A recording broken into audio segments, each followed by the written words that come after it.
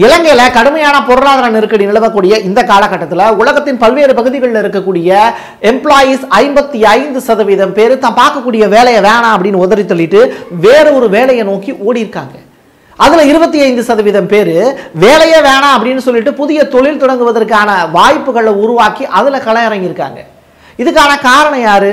அவங்களுக்கு புதிய தொழில் தொடங்குவதற்கான வாய்ப்புகள் எப்படி பிரகாசமாக இருக்குது இது எல்லாத்தையும் பற்றி ஹாரிஸ் போல் அப்படிங்கிற சர்வே அடிப்படையிலையும் கிளாஸ்டோ சர்வே அடிப்படையிலையும் ஒரு புதுவிதமான விஷயங்கள் எல்லாத்தையுமே பேச போகிறோம் புதுசாக கிடைச்ச சர்வே அடிப்படையில் நம்ம பேசக்கூடிய விஷயங்கள் எல்லாமே உங்களுடைய வாழ்க்கைக்கும் யூஸ்ஃபுல்லாக இருக்கும். இது பிரசாத் சிக்னேச்சர்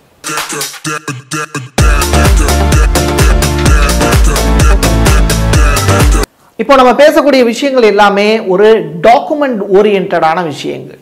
ஸோ தொடர்ந்து வந்து இந்த மாதிரியான ஒரு கம்பெனி ரிலேட்டடான விஷயங்கள் எம்ப்ளாயீஸ் ரிலேட்டடான விஷயங்கள் அதுக்கப்புறம் ஒரு பிஸ்னஸ் ஆண்டர்பிரினர் இப்படி அவங்களுடைய படிநிலைகள் வாழ்க்கையில் வந்து மாறிக்கிட்டே இருக்கக்கூடிய காலகட்டத்தில் ஏன் இந்த நேரத்தில் அதை பற்றி எடுத்து பேசுகிறோம் அப்படின்னா ஒரு கம்பெனிக்கு கீழே வேலை பார்க்கக்கூடியவங்களுடைய நம்பிக்கையின்மை அப்படிங்கிற ஒரு விஷயத்தை சர்வேல பெரிய அளவில் எடுத்திருக்காங்க. இது எல்லாமே கொரோனா காலகட்டத்தில் வேலை இழப்பு அப்படிங்கிற ஒரு விஷயம். அதுக்கப்புறம் அந்த ஜேர்னி வந்து டக்குன்னு ஒரு சேஞ்ச் ஓவர் கொடுத்து மறுபடியும் வந்து மாறி இருக்கக்கூடிய ரெண்டாயிரத்து இருபத்தி இரண்டு.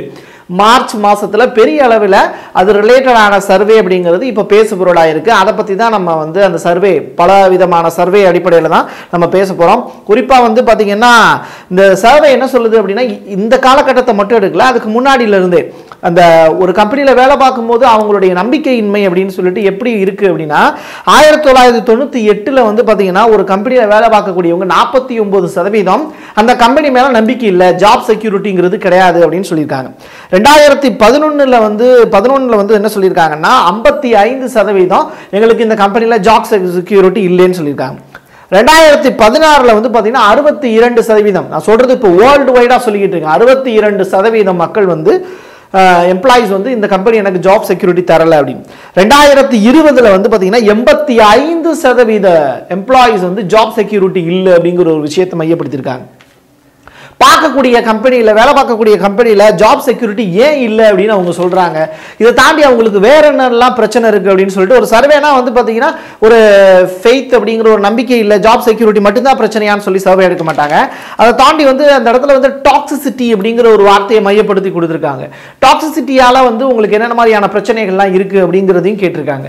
அப்போ டாக்ஸிசிட்டினா என்ன அப்படின்னு சொல்லிட்டு நம்ம தெரிஞ்சுக்க வேண்டியது இருக்குது ஒரு கம்பெனியில் ஒருத்தருக்கு மட்டும் நோய் இருந்தால் பரவாயில்ல.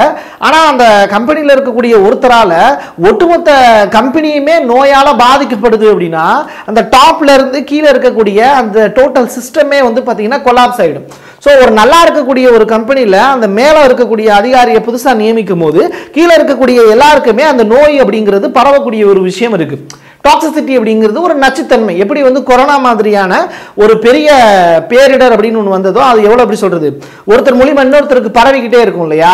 இந்த மாதிரியான விஷயங்கள் எல்லாமே வந்து பார்த்திங்கன்னா தொடர்ந்து டாக்ஸிசிட்டி அப்படிங்கிற ஒரு விஷயத்தை நச்சுத்தன்மை அப்படின்னு சொல்லலாம்.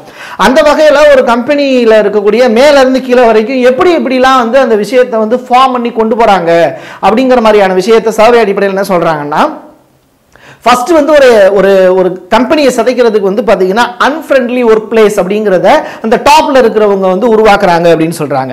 அந்த வகையில் வந்து அதனால என்னென்ன பிரச்சனைகள்லாம் வருது அப்படின்னா குரூப்பிசம் அப்படின்னு சொல்லிட்டு ஒன்று ஃபார்ம் பண்ணுறாங்க அதுக்கப்புறம் வந்து நெப்போட்டிசம் அப்படிங்கிற ஒரு விஷயத்தை ஃபார்ம் பண்ணுறாங்க அதுக்கப்புறம் ஃபேவரட்டிசம் அப்படிங்கிற ஒரு விஷயத்தை ஃபார்ம் பண்ணுறாங்கன்னு அந்த சர்வேயில் இருக்கக்கூடிய இது வந்து இங்கே கிடையாதுங்க. இது வந்து பார்த்தீங்கன்னா வேர்ல்டு வைடாக இருக்கக்கூடிய விஷயங்கள். இந்தியாவில் மட்டும் கிடையாது.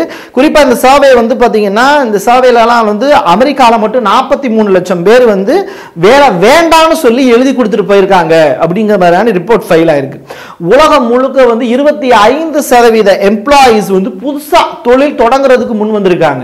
இந்த மாதிரியான பிரச்சனைகள்னால. ஸோ இது வந்து இங்கே இப்போ இந்தியாவை இந்தியா தானா? அப்படி இந்தியாவை மட்டும்தான் பேசுறீங்களா? அமெரிக்காவை மட்டும்தான் பேசுகிறீங்களா கிடையாது. இது வந்து ஐரோப்பிய காண்டினென்ட்ல மட்டும் பன்னெண்டு பர்சன்டேஜ் வந்து இந்த மாதிரியான பிரச்சனைகளால் பாதிக்கப்பட்டு வேற ஒரு வேலைக்கும் புதுசாக தொழில் தொடங்குறதுக்கும் போயிருக்காங்க. ஆப்பிரிக்கா காண்டினென்ட்டை பொறுத்தளவில் நாலு பர்சன்டேஜ் மக்கள் வந்து பார்த்தீங்கன்னா இந்த பிரச்சனையால் பாதிக்கப்பட்டு வெளியில் போயிருக்காங்க. ஏஷியன் காண்டினென்ட்டை பொறுத்தளவில் அதாவது ஏஷியன் காண்டினென்ட்ல தான் நம்ம சைனா இந்தியா அதாவது மக்கள் தொகை அதிகமாக இருக்கக்கூடிய நாடு எதுன்னு கேட்டிங்கன்னா நம்ம ரெண்டு கண்ட்ரி அது ஏசியன் காண்டினென்ட்ல இருக்கு. ஒம்பது பர்சன்டேஜ் எம்ப்ளாயீஸ் வந்து பார்த்திங்கன்னா வேலையை வேண்டாம் அப்படின்னு சொல்லிட்டு ஓடி இருக்காங்க இது எல்லாமே வந்து பார்த்திங்கன்னா கொரோனா காலகட்டத்தில் இருந்து இப்போ வரைக்கும் எடுக்கப்பட்ட சர்வே முடிவுகள் அப்படிங்கிற ஒரு விஷயம். அதுக்கப்புறம் ஆயிரத்தி தொள்ளாயிரத்தி தொண்ணூற்றி எட்டில் இருந்தே அந்த சர்வே அடிப்படையில் ஒரு கம்பெனி மேலே எப்படி நம்பிக்கை இன்மை அப்படிங்கிற ஒரு விஷயத்தை பதிவு பண்ணியிருக்காங்க. அது எப்படி கொஞ்சம் கொஞ்சமாக டெவலப் ஆகி இந்த கொரோனா காலகட்டத்தில் பெரிய அளவில் வேலை இழப்பு புதுசாக தொழில் தொடங்குறதுக்கு காரணமாக இருந்தது அப்படிங்கிற விஷயத்தை தான் இப்போ பார்த்துக்கிட்டு இருக்கோம். ஒரு கம்பெனியில் வேலை பார்க்கக்கூடிய எழுபத்தி எட்டு சதவீதம் பேருக்கு டாக்ஸிசிட்டி பாதிப்பு இருக்கு அப்படிங்கிறாங்க. குறிப்பாக சொல்லணும் அப்படின்னா ஒரு நூறு பேரில் எழுபத்தி எட்டு சதவீதம் பேர் வந்து மன அழுத்தத்தால் பாதிக்கப்பட்டிருக்காங்க. இந்த மாதிரியான பிரச்சனைகள்னால கம்பெனியில் வேலை பார்க்கக்கூடிய எல்லாருக்குமே வந்து பெரு- பெரிய அளவில் வந்து மாரடைப்பு உள்ளிட்ட பிரச்சனைகள்னால வந்து பெரிய அளவில் பாதிப்புக்கு உள்ளாயிருக்காங்க அப்படிங்கிற மாதிரி விஷயத்தை பதிவு பண்ணுறாங்க ரெண்டாவது இவங்க சொல்லக்கூடிய முக்கியமான விஷயம் இந்த சர்வேல வந்து பார்த்தீங்கன்னா ஃபேமிலியோட ஸ்பெண்ட் பண்ணுறதுக்கான நேரம் எப்படி இருக்கு அப்படின்னு சொல்லி கேட்கும்போது அதை பற்றி கேட்குறாங்க ஒரு எயிட் ஹவர்ஸ் வந்து ஒர்க்கிங் ஹவர்ஸ் அதுக்கப்புறம் இந்த ஃபேமிலியோட ஸ்பெண்ட் பண்ணுற டைம் அப்படிங்கிறது எப்படி இருக்கு அப்படின்னு சொல்லிட்டு அந்த சர்வேல கேட்கும்போது அதுல என்ன சொல்றாங்க அப்படின்னா டைம் ஸ்பெண்ட் பண்றதுக்கு நேரம் இல்ல. அதுக்கு காரணம் என்ன அப்படின்னு கேட்கும்போது எயிட் ஹவர்ஸ் ஒர்க்கிங் ஹவர்ஸ் அதுக்கப்புறம் என்ன பிரச்சனை அப்படின்னு சொல்லி கேட்கும்போது எக்ஸ்ட்ரா ஹவர்ஸ் ஒர்க் பண்ண சொல்கிறாங்க இந்த எக்ஸ்ட்ரா ஹவர்ஸ் ஒர்க்கிங்கில் வந்து பார்த்தீங்கன்னா சில கம்பெனிஸ் வந்து பே பண்ணி அவங்கள வந்து இப்போ வேலை வாங்குறாங்க. சில கம்பெனிஸ் வந்து பே பண்ணுறதுக்கு ரெடியாக இல்லை பட் வந்து எயிட் ஹவர்ஸை தாண்டி ஒர்க் பண்ணுங்க அப்படிங்கிறாங்க.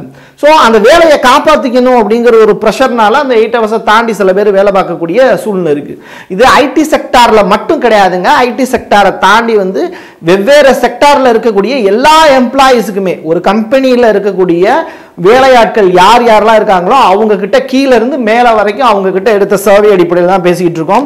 இந்த சர்வே நம்ம எங்கேருந்துலாம் வந்து அவங்க எடுத்து கொடுத்துருக்காங்க எந்தெந்த மாதிரியான விஷயங்களில் எந்தெந்த இடத்துல இருந்தெல்லாம் நம்ம எடுத்திருக்கோம் அப்படின்னா அமெரிக்கன் சைக்கலாஜிக்கல் அசோசியேஷன் என்ன சொல்கிறாங்க அப்படிங்கிறது இந்த மன அழுத்தம் குடும்பத்து சம்பந்தப்பட்ட பிரச்சனைகள் எல்லாமே இந்த அமெரிக்கன் சைக்கா சைக்கலாஜிக்கல் அசோசியேஷன் சொல்கிற விஷயங்கள் இருந்து எடுத்திருக்கோம். அதுக்கப்புறம் நியூயார்க் டைம்ஸ் பேசின விஷயங்கள் எக்கனாமிக் டைம்ஸ் பேசின விஷயங்கள் யூஎஸ்ஏ டுடே பேசின விஷயங்கள் அதுக்கப்புறம் கின்சே அண்ட் கம்பெனி இவங்க பேசின விஷயங்கள் அடிப்படையில் தான் தரப்படுத்திருக்கோம். இந்த சர்வே அப்படிங்கிறது வந்து பார்த்தீங்கன்னா நம்ம எடுத்த சர்வே அப்படிங்கிறது ஆர்எஸ் போல் சர்வே அதுக்கப்புறம் வந்து கிளாஸ்டோர் வெப்சைட் அவங்க தொடர்ந்து வந்து பார்த்தீங்கன்னா இது ரிலேட்டடான சர்வேஸ் வந்து தொடர்ந்து எடுத்துக்கிட்டே இருக்காங்க. அந்த அடிப்படையில் வந்து அன்ஃப்ரெண்ட்லி ஒர்க் பிளேஸ் அப்படிங்கிறது ஒரு பெரிய அளவிலான ஒரு டிக் அடிச்சிருக்காங்க. எப்படி வந்து ஒரு ஒரு பேப்பர் கொடுத்து ஃபுல்லாக வந்து பார்த்தீங்கன்னா இவங்க இவங்க அவங்களுடைய பேர் முதற்கொண்டு மென்ஷன் ஆகலை. ஸோ டோட்டலாக வேர்ல்டு வைடாக நடத்தப்பட்ட இந்த சர்வே அப்படிங்கிறது பெரிய அளவில் பேசு பொருளாக இருக்குது அது மட்டும் இல்லாமல் இந்த ஒவ்வொரு கம்பெனியிலும் இருக்கக்கூடிய எம்ப்ளாயிஸ் படக்கூடிய விஷயங்களையும் பிரச்சனைகளையும் மையப்படுத்தி எடுத்திருக்காங்க. தொடர்ந்து இது சம்பந்தமான விஷயங்கள் வந்து பேசு பொருளாக மாறி இருக்கு அதுக்கப்புறம் வந்து இப்போ இதெல்லாம் வந்து ஒரு கம்பெனிக்கு கீழே அதுக்கப்புறம் கம்பெனியை விட்டு வெளியில் போகிறவங்களோட எண்ணிக்கை அப்படிங்கிறத நம்ம பார்த்தோம். அதுக்கப்புறம் புதுசாக தொழில் தொடங்குறாங்கன்னு சொல்லி இந்த டுவெண்ட்டி ஃபைவ் பர்சன்டேஜ் வேர்ல்டு வைடாக டுவெண்ட்டி ஃபைவ் பர்சன்டேஜ் வந்து புதுசாக தொழில் தொடங்குறதுக்கு போகிறாங்க அப்படின்னு. அந்த புதுசாக தொழில் முனைவோர்களுக்கு என்ன மாதிரியான வாய்ப்புகள் இருக்குது அப்படின்னு பார்த்தீங்கன்னா வேர்ல்டு வைடாக இன்றைக்கி வந்து அவங்களுக்கான அந்த பேங்கிங் செக்டார் மூலியமாக கிடைக்கக்கூடிய வாய்ப்புகள் தான். அதுக்கான பணம் வந்து அவங்களுக்கு கிடைக்குது. அதுக்கப்புறம் வந்து தொடர்ந்து வந்து ஆண்ட்ரிபுனராக உருவாகிறதுக்கான வாய்ப்புகளை உருவாக்கிக்கிறாங்க. இந்த ஆண்ட்ரிபுனராக உருவாகிறதுக்கு முன்னாடியே வந்து அவங்களுக்கு என்ன மாதிரியான ஒரு செக்யூர்டான ஒரு ஜோன் வந்து ஏன் வேலை விட்டு வெளியில் வராங்க அப்படின்னா அந்த இடத்துல வந்து ஏற்கனவே ஒரு குரூப்பிசம்னு சொல்லிட்டு ஒன்று ஃபார்ம் ஆகுது இல்லையா? அந்த குரூப்பிசம் மூலியமாக தான் இவங்க புதுசாக தொழில் தொடங்குறதுக்கு முன் வர்றாங்கிறது தான் ரிப்போர்ட் ஃபைல் ஆயிருக்கு இப்போ வந்து ஒரு ரியல் எஸ்டேட் பிஸ்னஸ் பண்ணுறாங்கன்னு புரியறதுக்காக சொல்கிறேன் ஒரு ரியல் எஸ்டேட் பிஸ்னஸ் ஒன்று பண்ணுறாங்கன்னா அந்த ரியல் எஸ்டேட்டுக்கு இடம் வாங்குறதுக்கு வாங்கி கொடுக்குறதுக்கு ஒருத்தவங்க அந்த கம்பெனியில் இருப்பாங்க. அதுக்கப்புறம் அந்த இடத்துல வந்து பில்டிங் கட்டுறதுக்குன்னு சொல்லிட்டு வந்து பார்த்தீங்கன்னா வேலையாட்கள் இருப்பாங்க. கொத்தனார்ல மேஸ்திரியிலேருந்து பெரிய ஆளுங்க வரைக்கும் வந்து பார்த்தீங்கன்னா அந்த பில்டிங் கட்டுறதுக்குன்னு சில செப்பரேட் குரூப் இருப்பாங்க.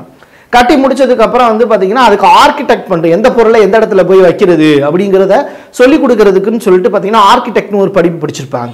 அதுக்கப்புறம் வந்து பார்த்தீங்கன்னா அந்த இடத்துல வந்து புதுசாக வந்து பார்த்தீங்கன்னா அந்த ஒட்டுமொத்தமாக வேற ஒரு இடத்துல வந்து விற்கிறதுக்கான வாய்ப்புகளை வந்து மார்க்கெட்டிங் பீப்புள்ஸ் அப்படின்னு இருப்பாங்க ஸோ இவ்வளோ பேரை வந்து சேர்ந்தது தான் ஒரு கட்டடமே உருவாகுது இல்லையா?